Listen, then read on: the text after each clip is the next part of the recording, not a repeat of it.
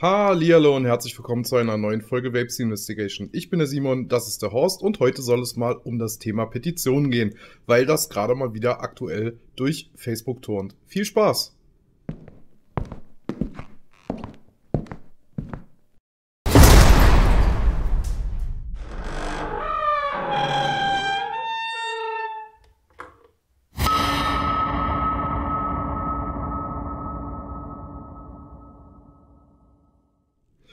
Ja, was dampf ich? HCK VT 250, wo sich schon wieder die Schrauben, die den 510er halten, gelöst haben, schon das zweite Mal. Sehr ärgerlich bei so einem teuren Gerät. Äh, da drauf der Shenray One und Twisted Manta Fango, was immer noch so mein, mein Sommerliquid ist, schön frisch mit ein bisschen Colada drin halt. Finde ich immer noch sehr angenehm. Ähm, ja, Petition. Ähm, jetzt tont aktuell durch Facebook mal wieder so ein Ding, Streichung Paragraph 14 Tabakerzeugnisgesetz und zwar geht's da unter anderem um die 10 Milliliter Beschränkung. Das macht in der Sache natürlich Sinn, ähm, denn das ist, dieser ganzen 10 Milliliter Kiste, das ist natürlich totaler Quark. Ich habe ja die, wo diese Begründung herkommt, auch schon mal hier und da beantwortet.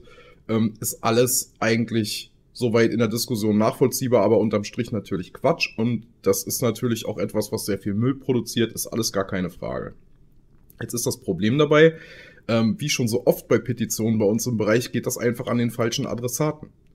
Denn ähm, man richtet sich jetzt quasi an den Bundestag, also es ist eine Petition, die an den Bundestag gerichtet ist, die über den Petitionsausschuss geht und das Problem ist, dass der Deutsche Bundestag das gar nicht einfach so ändern kann. Denn das Tabakerzeugnisgesetz ist eine Umsetzung einer, einer europäischen Rahmengesetzgebung und zwar der EU-Richtlinie 2014-40 EU, also landläufig TPD 2 genannt. Und wenn wir jetzt da Regelungen rausstreichen, würden wir ein entsprechendes Verfahren auslösen bei der EU und müssten als Land Strafe zahlen, weil wir die Rahmenverträge nicht umsetzen. So. Jetzt heißt das natürlich nicht, dass man die ganze Kiste nicht ändern kann. Nur halt kann es der Bundestag eben nicht einfach so, sondern ähm, wenn ihr jetzt wirklich Energie darauf verwenden wollt, was zu ändern, dann wendet euch doch an die richtige Stelle. Und zwar wäre das dann die Mitglieder des Europäischen Parlaments die dann entsprechend das im EU-Parlament besprechen, um diese Richtlinie durch die EU-Kommission überarbeiten zu lassen. Das ist durchaus möglich. Und da gibt's auch durchaus Bestrebungen. Nur ist, ähm, jetzt will ich nicht sagen, oh, die, das ist jetzt irgendwie falsch, die Petition zu zeichnen. Nee, es ist nur sinnlos. Also es, und damit meine ich nicht, öh, das ist jetzt irgendwie Blödsinn, ihr seid alle doof. Es ist einfach der falsche Adressat. Das ist, als wenn ihr einen neuen Personalausweis braucht und geht zum Finanzamt und sagt, mach mir einen neuen Ausweis. Und dann sagen die natürlich, äh, nee, machen wir hier nicht. Und dann geht ihr los und beschwert euch ganz laut, die, die, die wollen mir nicht helfen. Ja. Und so ist das jetzt bei diesen ganzen Petitionen gelaufen und so läuft es auch jetzt wieder. Das läuft an einen Adressaten, der das Problem nicht lösen kann. Und damit, was bringt das dann? Ja, warum, warum wendet man sich nicht direkt an die richtigen Leute? Nehmt euer Telefon in die Hand oder schreibt eine E-Mail an euren Europaabgeordneten. Ich schreibe eine Liste unter das Video, ja, verlinke das. Da könnt ihr dann gucken, wer eure Europaabgeordneten sind für euer Bundesland und sprecht die direkt an. Die müssen das Thema auf die Agenda bringen im Europäischen Parlament. Da kann der Bundestag erstmal gar nichts dran ändern.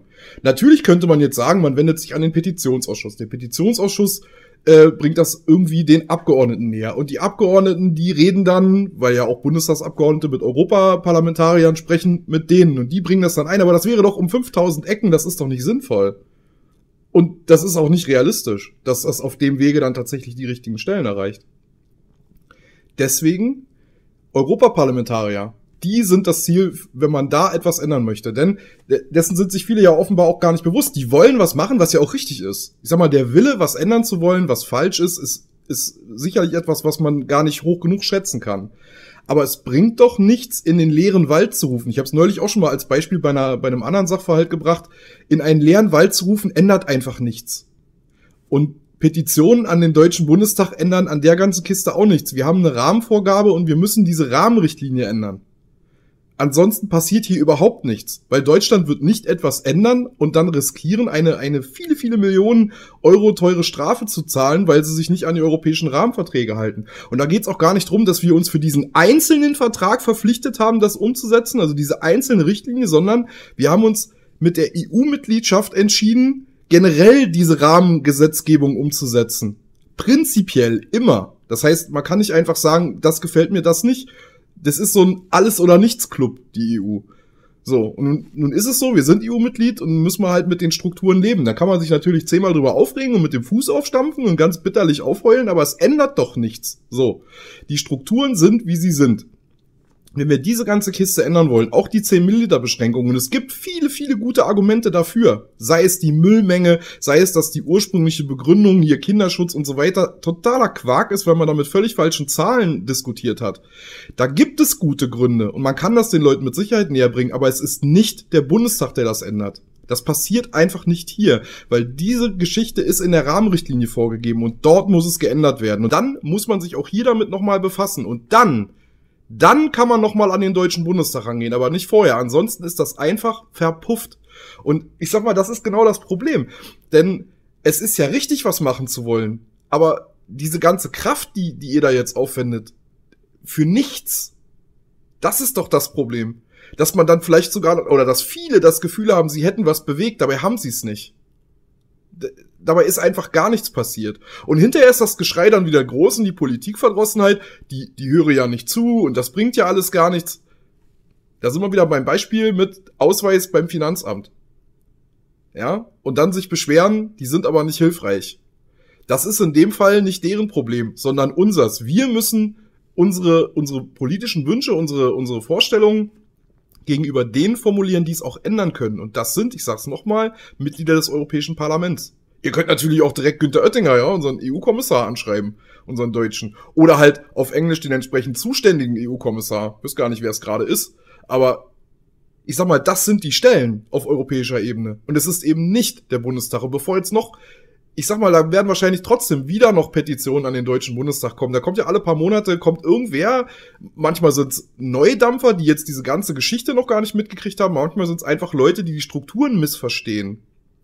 Aber da werden mit Sicherheit wieder weitere kommen, aber das bringt alles gar nichts. Das ist halt einfach verschwendete Kraft, die an anderer Stelle besser eingesetzt ist. Und deswegen auch dieses Video, um das einfach mal ganz klar zu sagen, wir kommen als einzelnes Land aus dieser Rahmenrichtlinie nicht raus. Wenn wir solche zentralen Punkte ändern wollen, müssen wir an die Rahmenrichtlinie, also eine TPD 3 möglicherweise.